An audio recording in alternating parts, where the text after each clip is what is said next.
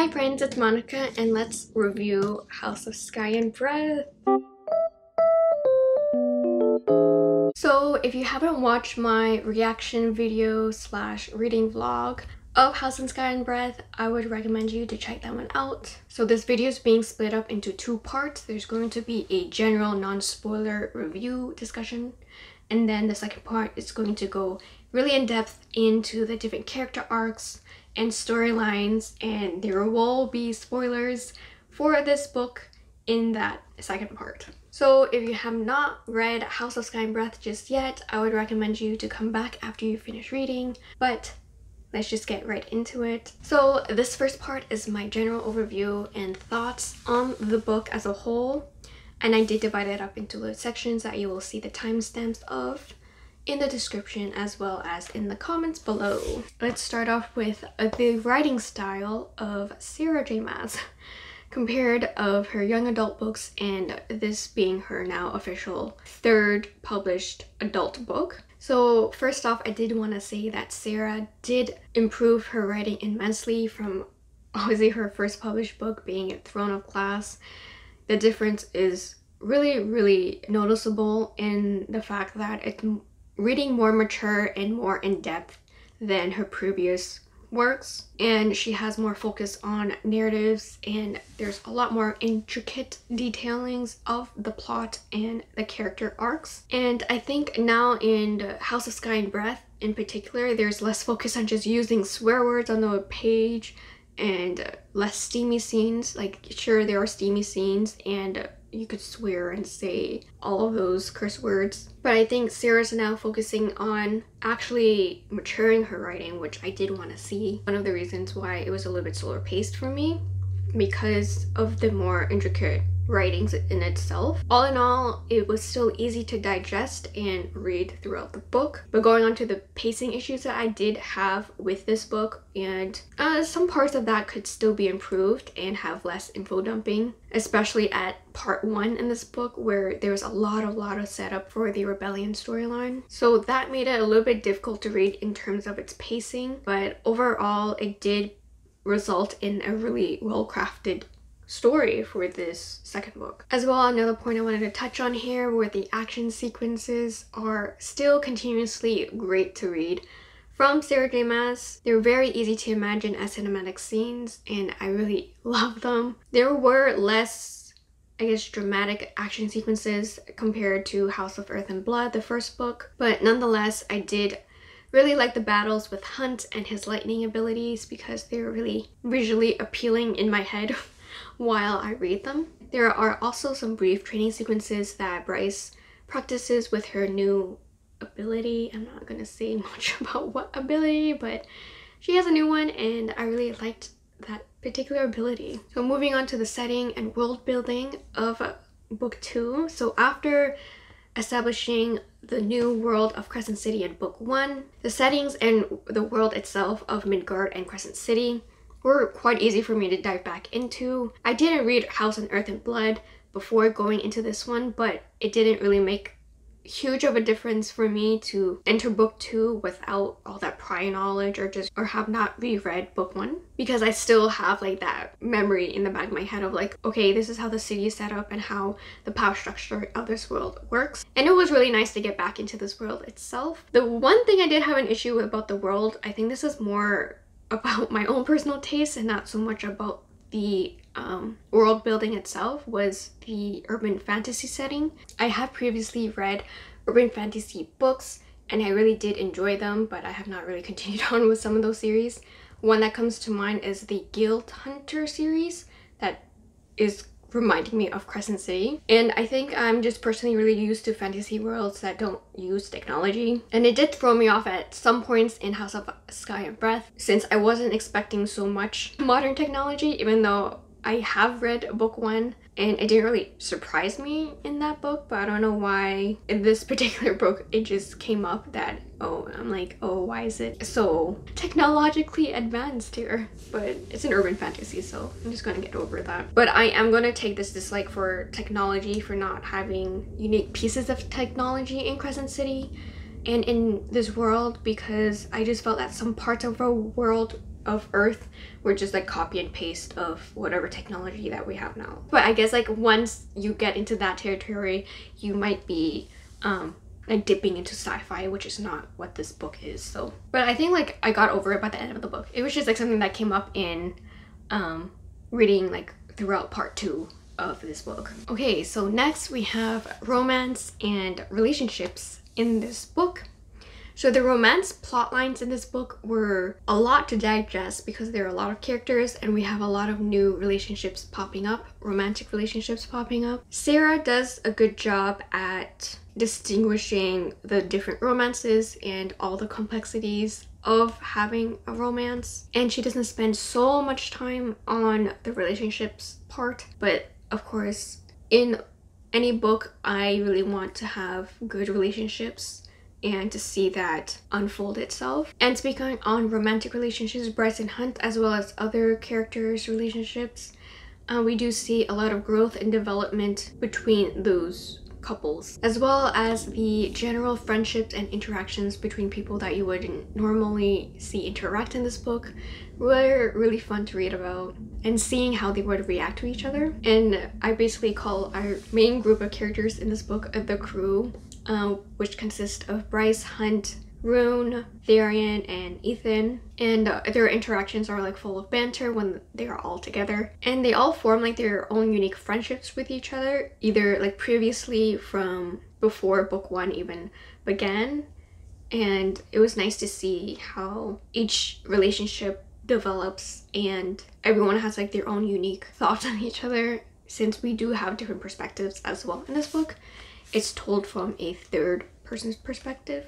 Overall, I really enjoyed reading everyone's interactions with each other. Okay, now I'm going to be talking about some progression in the overall arcing plot lines. So we do have the deal with Danika in book one, continuing to have huge impacts in book two, and with Danica being quite mysterious because she has she had a lot of secrets that she kept from Bryce and from Fury and Juniper, so like from her group of friends. So it was really interesting to see how Danika's death still has a huge impact going on from two years plus after she died. And with that impact of Danika's storyline in House of Sky and Breath, we also have the rebellion aspect of this book. I won't say too too much about it because we do know that Hunt was part of the last failed rebellion and he was a slave for two centuries. The ripple effects of that continue in this book and to see how the humans are still trying to organize themselves and fight for their rights against magical beings. But with our particular crew of characters, we don't see the full impact of that, but we do explore it in this book. We do have our big evil or antagonist being the Asteri. So the Asteri in this book continue to play a huge role and continue to impact all the storylines, all the characters as well because they are the big bad.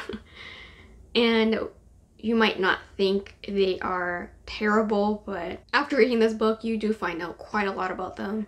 And it was really surprising to me of what they are capable of and I want to learn more about what is exactly going through their heads and minds at this point because I think it's really interesting to explore like the villain side of things and why they do what they do. With the overall arcing plot lines in Crescent City, there is huge progression that's being made and get ready to be shocked if you have not yet read the book. And what I think would be best going forward with Sarah J Maas and my expectations for this book series, I want more emotional impacts. I thought I was lacking that emotional connections to some of the characters this time around. But at the end of the book, I did find what I wanted, and that was just to see that vulnerability of people and see that each character has their own multifaceted aspects of their personality, and that really did shine throughout, especially part three in House of Sky and Breath.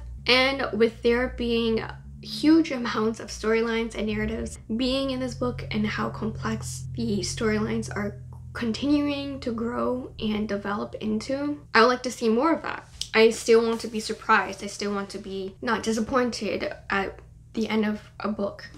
and to not have that typical experience of reading a fantasy book, especially if, like me, if you have read so many fantasy books and stories that it's hard to find something unique anymore. Even though I am a fan of Sarah J Maas, she does manage to bring different like elements from different familiar stories that I've personally that I personally watched or read before or heard of before into her own unique spin. So I did really appreciate that and I do want to see more of that. And with the themes of Crescent City, I do want to see more the impacts of the war, impacts of traumatic events that happen for people and the commitments of people have towards themselves or their struggles, their internal struggles, because I really think that's what makes you really invested into a story or into a character. At the end of this particular book, I did fall in love again with Bryce and Hunt and all the characters that we come across. Some of them uh, I didn't really care for, but I think by the end of the book or even throughout future books, you will develop more of a liking towards them. That reminds me of how in the Court of Thorns and Roses series that I personally did not really care for Azriel in the first uh, three books and then that kind of changed in A Court of Silver Flames because we got to see more of him. We got to see more of like his story and he just had more page time. Think that will happen again with some of the side characters in Crescent City and to build more of like my own liking towards those characters or even loving to hate certain characters. That was a lot to talk about, but if you're interested in now the spoilery section of this video, continue on watching. So the spoiler section is going to be my in-depth character arc and storyline progression and completely spoiling House of Sky and Breath and all the different secrets and twists and shocks and turns. If you have not read it, do not watch any further. This is your last warning, so let's dive in. Okay, so starting off with the Ophion Rebellion. Our crew now involved super deep with the rebellion and how the different characters, when they first learned of the rebellion cause and how Tharion is really the lead investigator and brings the news to our crew. So this discussion where they first were introduced to the their involvement to help out Tharion and find Emile as well as Sophie. It was a really nice contrast to see with the more experienced Vanir versus the younger, less experienced Vanir. We have Hunt who was part of that huge rebellion with Shahar, which failed. He was then a slave for two centuries. He, of course, is scared to go into a new rebellion and especially with just getting someone that he loves in the picture that he's at risk of losing everything again and he doesn't want that. His disapproval of trying to help out the rebels now is really well justified. And we also have Ruhn who also doesn't want to be involved with the rebel cause because I think he himself doesn't just want to uproot his entire life and fight for something that could potentially lead to a huge change in his world. As a character, Ruhn runs away from his responsibilities because of the Oracle's prophecy, I think, that he's going to be the last heir of his bloodline. And or like the bloodline will end with him and i think that plays into this as well so it does make sense for him and this is versus ithan and bryce who are the less experienced in rebellion causes. And with Ithan, he's a young werewolf. He hasn't experienced something on a huge scale as this before. He has in part of experienced deaths of close ones and like in battles before. He still has that liking and will to save others as well as save humans as he did in book one in the demon attack on the city and he helped out Bryce fight off the demons to save as many humans as possible. And Bryce being the person she is, she's really stubborn, headstrong, and she doesn't like it when people who can't fight for themselves. I think Bryce in this case of actually being involved with the rebellion. She heard the name Danika and she's like, oh, Danika might have some connection to this. She, she's like, okay, say less. I'm going to be involved in this anyways because I need to find out more about how Danika is even involved in this because Tharion found the emails exchanged between Sophie and Danika. So for her reason, it's really personal as well. So I really like that contrast in, at the beginning of the book of even deciding to help out the rebels or not. But at the end of the book, they do realize that the rebels are not who they say they are as in terms of their values and ideologies, especially when Pippa is like at the head of the Ophion rebels. When they first interact with Pippa, they do see how she kills off innocent Vanir and our crew does not like that. So they're like, okay, we need to not have these huge death mech suits and dangerous weapons in their in the rebels' hands that will cause deaths to a lot of innocent people. So at the end of the day, our crew goes against the rebels and against the Asteri and they're like, okay, we're just gonna find our own our own way to defeat everyone. So it's basically them against the world, which is what I like to see in fantasy books. And the difference in this book is like they came to that realization.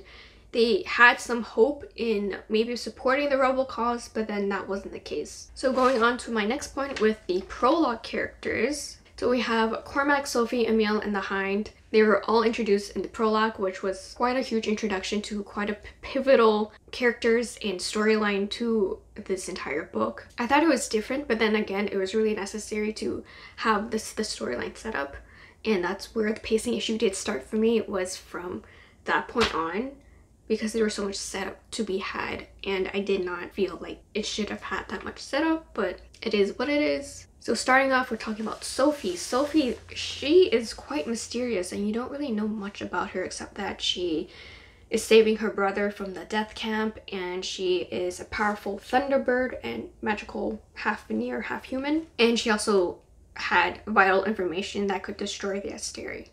So I think like this kicked off the entire point of the plot line of okay, we need to find out what what is that information that she found out and she died for. I did really enjoy her character from that battle sequence that we had in the first in the prologue and even though the little time that we had with her, I really enjoyed reading about her character. Then we have Cormac who is also known as the agent Silverbow in the prologue and we also have him as uh, the Fae Prince of Avallen, of the Avallen Fae. He loves Sophie and I didn't expect to love him so much. He was first introduced as Bryce's fiance slash betrothed and he he's just like really grouchy but I really like him and he did end up sacrificing himself and exacting his revenge for Sophie's death at Pippa at the Asteri lab at the end of the book. He wanted to do right for himself and he did see the injustices of his Fae brethren and the injustices of the humans being the lowest species of Midgard. And Cormac recognizing that was one of his strong points. And I did appreciate how he encouraged Ruhn to be like a kind leader as the king of the Fae and also helped out Bryce to learn about her teleportation powers. So those like were like small moments I really enjoyed about Cormac. He died in the end, but I think he did it for, of course, his own cause and to die for what he believed in and essentially be reunited with Sophie, hopefully.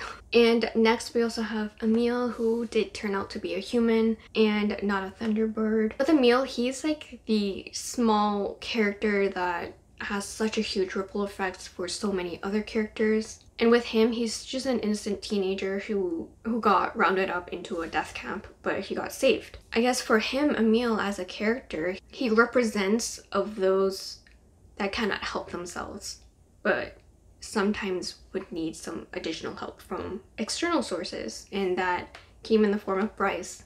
And Bryce here really showed off her her heart in that she really cares about those who cannot help themselves. She also thought of Emile as a person himself and not just as a tool of destruction. So talking about Bryce and Hunt, okay, I'm going to first talk about Bryce and Hunt as individuals and then going on to their relationship.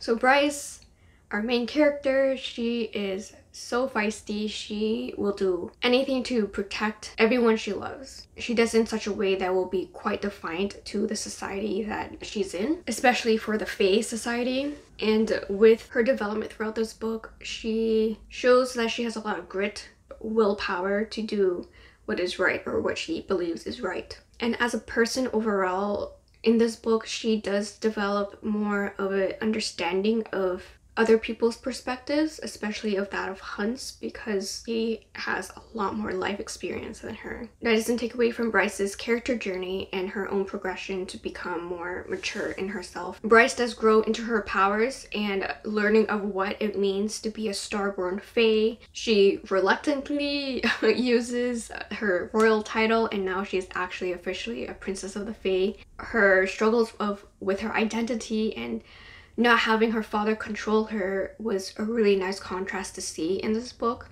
because she's so headstrong, right? But then she continues to be defiant to that uh, phase side of herself. She does find a way to overcome that by saying to the Autumn King that screw you, I'm not, I'm not going to follow what you want me to do. I'll follow along, but Bryce at the end of the day, she will do what she wants to do. And my heart just broke at the end of the book when she's found alone in the world and she's like separated from Hunt, I'm like, ah, cannot wait for the next book. I need that next book. Now talking about Hunt, Hunt is a really complex character as well. He's dealing with a lot, a lot of his past traumas especially being a slave for centuries and he continues to struggle to see from Bryce's point of view at times. With Hunt, he's overprotective, he's an alpha hole. At the same time, Hunt is able to recognize that people have their own opinions and their own experience of where they come from and he does do quite well in that regard. His own growth in terms of, okay, let's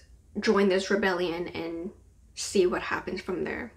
He's like, let's focus on right now and stop thinking about what could happen and what might happen, but let's focus on the now. And that thought came to mind when Bryce and Hunt were talking about, I think before they went into the archives of what could possibly happen. But Hunt was the one to say, we will be the, in this together and we will always be in this together. I really do love Hunt. He's a great character and he displays so many qualities of, of being a good person despite his tragic past.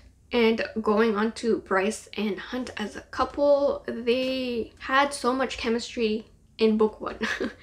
but then again, going into book two, I think it was just the distance of them being like, will they, won't they? And then oh my gosh, um, I don't know if I'm gonna be with you anymore or like when will we take this relationship to the next stage. Them finally admitting that they have feelings for each other and Bryce was dealing with her own healing as well at this time at the beginning of the book and it's slowly then translating to them being together and declaring themselves as mates and really growing in their emotional vulnerability, connecting with each other on a more deeper level aside from the physical, when those particular scenes came up, it made their relationship seem so much more stronger in my eyes. And when their powers are working together, they're at their most powerful as well as their strongest when they are together. So them apart sucks because that's what we're gonna get for the future books, but I think they will come together and realize whatever may happen to either one of them, they will find their way back to each other, which is so sweet. I really like that in books, and Sarah does not disappoint with that with Bryson Hunt. Okay, we're going to talk about Ruhn now. Ruhn has a lot of different things going on for him. So Ruhn is the Valbaran crown prince. He's quite reluctant to be the crown prince. He doesn't really want to be the next king. He's a really huge partier. He has two best friends, Flynn and Declan. I think with Ruhn, we see more of his character going on the arc of figuring out of what he wants to do.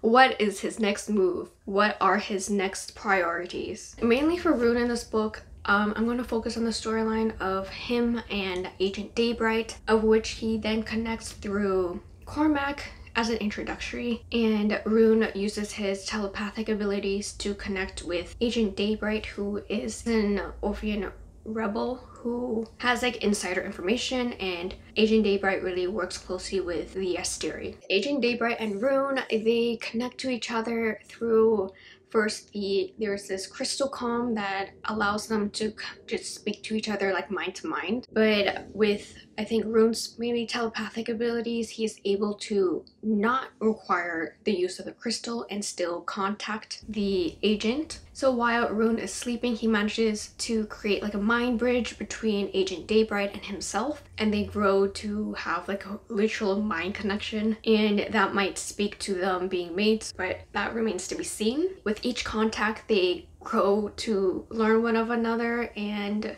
Agent Daybright is saying to Ruhn that you're really young and this is not typical behavior of a agent of the rebels. But with that, they grow in their relationship throughout their connections and their conversations with each other. They eventually develop feelings for each other. And at the pinnacle of the relationship, they both agree to meet each other in person at the masquerade ball near the fountain at, at midnight. But once Ruhn gets there, he realizes that it's the harpy there and he's like, Day? But like and the harpy doesn't say night back to him so that's not agent daybright but later on we find out when ruhn is in the asteri dungeons and the harpy is about to like slice his throat as torture that the hind comes and stops the harpy and kills the harpy before uh, she touches Ruhn and injures him. That was a huge shocker to me that the Hind and who is also known as Agent Daybright and also known as Lidia Cervos that she's the one that Ruhn has been talking to all this time.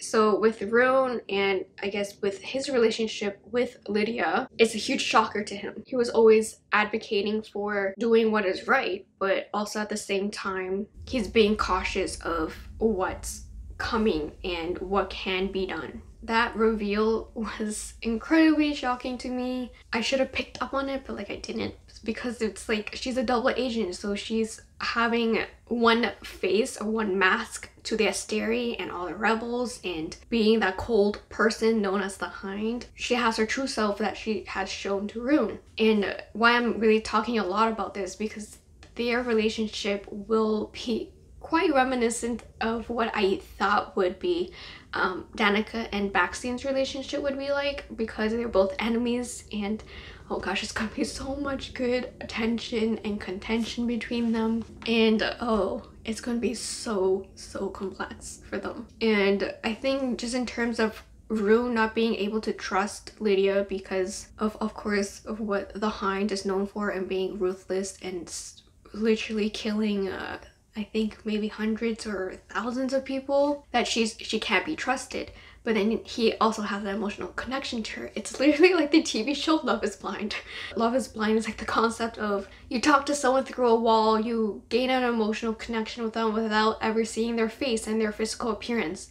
And this is kind of reminiscent of that for Lidia and Ruhn. That just makes me laugh right now because it's such a good comparison. Ruhn also with his relationship with Bryce is really touching to me. He's very sweet to her and reminds her that you are worth it and I'm glad to have had the time I've spent with you when they're literally being torn apart from each other at the end of the book. Ruhn has a complicated past as well with his with the Autumn King because the Autumn King also tortured Rune as a child and he has his tattoos to cover up I'm assuming the burns and scars. We learned so much about Ruhn in this book and that he's not just the party boy who like sleeps around and whatever. He has another softer side to him. Okay, now going on to Ruhn's friends. So we have Declan. We don't really see much of Declan. He's more of like a side character at this point in this book. He is with Marc and he's a hacker. He's their designated hacker in the group and he's really helpful. Flynn, we do explore more of his character throughout the fire sprites that come about in Ariadne the dragon and we do see his really flirty side and I do see a little bit of I guess this is like a prediction of Ariadne who was captured in one of the rings of the astronomer and now she's taken away into Ruhn's house and was freed by Flynn. Ariadne escaped from the security detail she was supposed to go on with Ithan and Hypaxia and she's now a Viper Queen's fighter in her like fighting ring. So I do see with Flynn and Ariadne that they will have like a bantery flirty relationship and because we did see little hints of Flynn being like I will do anything and come back and get you out of here, out of the Viper Queen's place. So with Flynn and Declan, they're like Ruhn's best friends and they welcome in Ithan as well as Tharion into their home and they're just like an equivalent of three best friends in a party house but they will do anything for each other. And I, and I do appreciate a good friendship group like that. So next character I'm going to be talking about is Ithan. He is the werewolf and he's Connor's younger brother. He's been disgraced from the pack by Sabine and so he's been dropped off at Bryce's apartment for now until he moves into Ruhn's house. He's a complex guy. He used to be a sunball player. He had like everything going for him until Connor's death. And he has a huge heart in him. He wants Bryce to be happy since he's also secretly in love with Bryce for the longest time ever. I think Ithan's like really big softie. He's really down to earth. He's one, one of those guys who would be really receptive of listening to your problems. and he would be happy to, you know. But I guess at this point he's quite closed off because of all the things he's been through. I did like his struggle of finding out of, okay, I'm out of my pack now and I'm all alone, but I don't know what to do from here.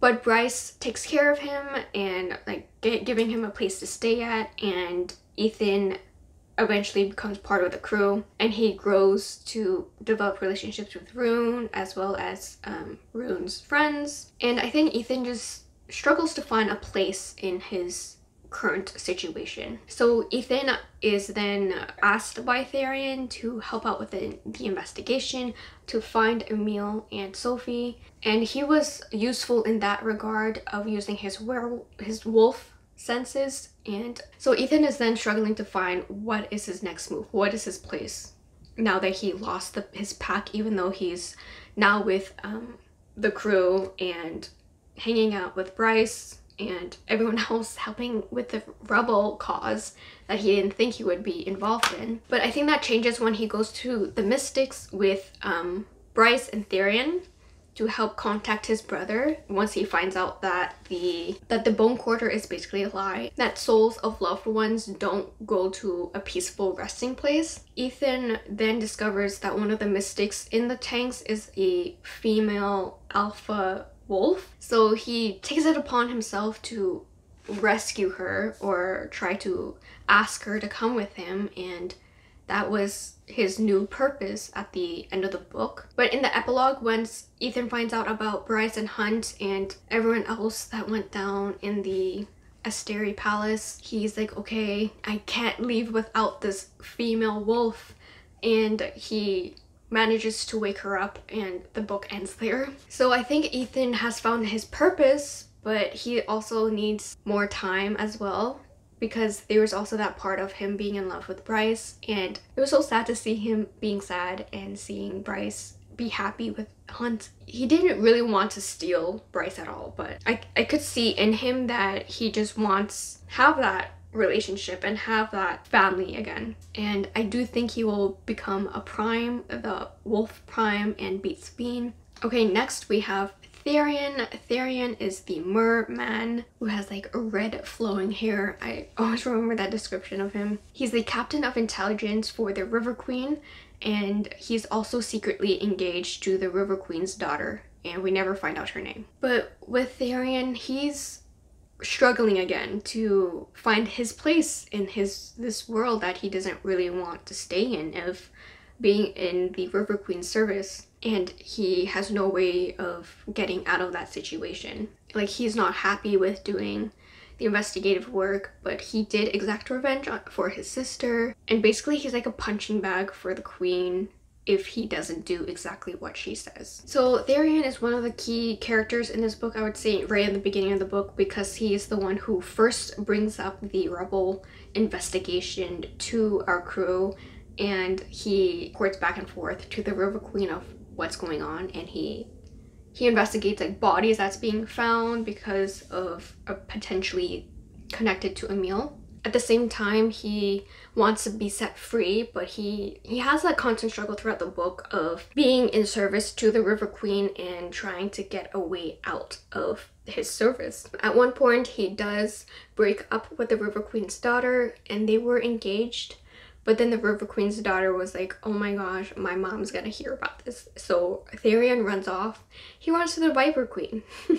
he runs to the Viper Queen and begs her to take him on as a fighter. And the Viper Queen's like, this is this is interesting. So then Tharion drinks the Viper Queen's blood and that makes him like subservient to the Viper Queen and he's a pit fighter. Same with um, Ariadne, the dragon girl. So that's going to be an interesting storyline for him. Tharion is quite a vital asset to the team. It's like the connection to the water world of Crescent City and of this world. Tharion does find out about the Ocean Queen and how the Ocean Queen rules completely differently from the River Queen. Instead of fear, it's actually with care. He's like, I could do so much better than this. So then he just leaves. He has his own internal struggles, struggles between being above and beneath.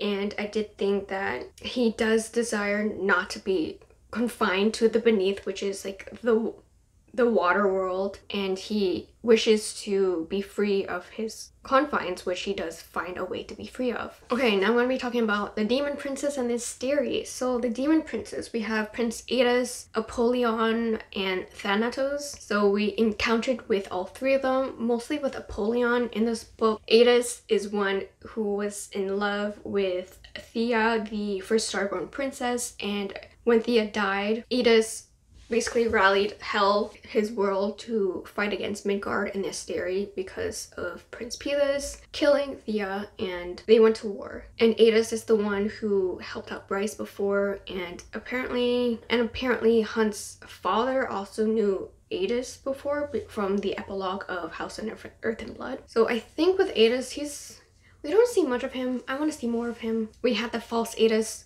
being actually Rigelus, the Asteri, and I was disappointed in that. I do want to see more of Aidas in the book and see how he interacts with everyone, but I don't, I think he's like more of a background character for now and he'll have more of a forefront progression in later books. So Apollion, he is the Prince of the Pit and he is contacting both Bryce and Hunt through dreams and saying like, you better like prepare yourselves, prepare your power and I want to face you. I want to face your power as being um, the Starborn princess and Hunt having his unique lightning powers. At first I thought um, Apollion was going to be a huge threat, but in a sense Apollion was helping Bryce and Hunt to prepare for, of course, the impending war that would be against the Asteri, and he helps Bryce to like actually embrace her powers and teleport on her own. So in a way, he's also helping them, but also threatening them. I don't know like what side he's on, so that's quite interesting. So with his Asteri, we only really interact with the Rigelus. He spills all the beans about who the Asteri actually are. They are powerful beings, immortals who are tens of thousands of years old, who destroyed worlds before and feeding off all of different kinds of worlds for their first light, which is their food source and power source. And um, Rigelus explains everything to Bryce that he orchestrated a bunch of things pretending to be Aidas and also um, advising them to go to the Bone Quarter to basically test out their powers and see like, okay, what can these pair do? He tells Bryce of how Danika got involved with everything in the first place with investigating her own lineage and her Bloodhound gift and how she found out wolf shifters are a type of fae and that what kicked off everything. Rigelus acts without mercy and he doesn't care, he just wants more food, more power. And to get more power, he needs Bryce. And but of course Bryce refuses, so he's one of those villains that are typically just evil. So the Asteri actually do remind me of the movie Eternals, how there are like celestial beings controlling every world and dictating each world of what world can give me power and eventually just grow in a, another celestial and destroying them. So I think with the Asteri, they're doing the same thing. They're destroying worlds, eating people for their power and energy. If the world is incompatible, they destroy the world. Those are the worldly characters that we interact with. And some other character arcs that I wanted to touch upon were, were Baxian and Danika. I did mention how I thought that um, Ruhn and Lidia or the Hinds relationship would be like. I do think that Baxian and Danika as mates was a huge shocker for me.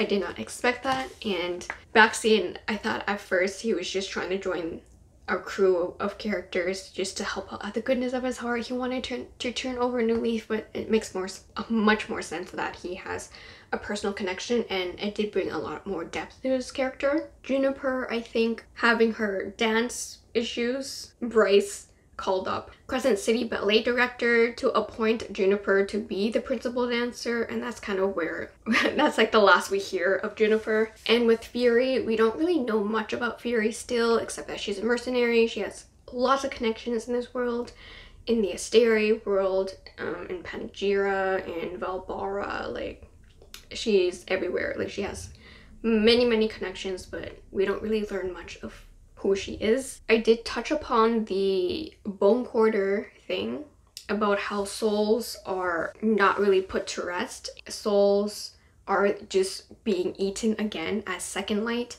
for the Asteri and it's just an endless cycle for the Asteri to have a source of power and feed and I do think our characters will manage to find a way of getting a proper resting place for everyone and take down the Asteri. Okay, so now I want to talk about the ending, the cliffhanger ending that I really did not like.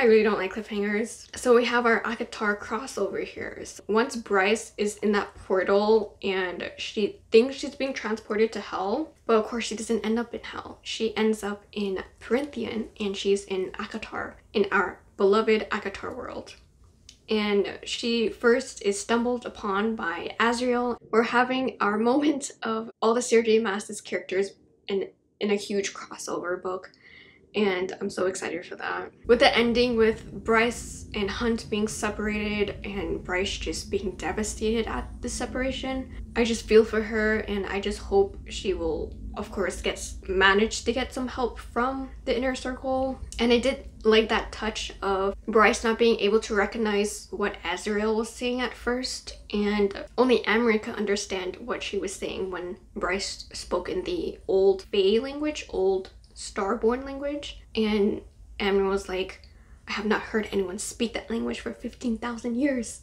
And I'm like, oof. All the connections with all our characters from past Sarah J Maas books are coming together and I feel like this part will be really really intense and it's pretty hard to predict what will happen but I do think right now my current huge prediction I only really have one huge prediction and that will be um, Bryce will get the help of Rhysand and uh, Feyre and all the other characters that we love already as well as uh, Rhysand looking really similar to Ruhn with like the dark hair and the violet blue eyes. Of course, I think they're related and the Starborn Fae from Crescent City world is actually the Starborn Fae of ACOTAR world. So I do think that's what the Starborn Fae land is, is Prythian. And we also get a little bit of a teaser of Azriel's dagger. I think it's called Shadow Singer. But Azriel's dagger is actually the twin to the Star Sword. I just think everything's going to come together and we will get Hunt and Bryce back together, back into their world, and maybe gathering up different armies from different worlds because with the horn on Bryce's back, she could travel to different worlds, and I really think that will be the case here, and that they'll be able to gather up all the armies and go save Midgard and destroy the Asteri together. So that's my huge prediction. So that's going to be the end of this video. Thank you so much for watching and I hope you enjoyed this in-depth discussion of A House of Sky and Breath. Don't forget to give me a big thumbs up, hit that subscribe button down below, and ring that notification bell to not miss any future uploads. See you all soon.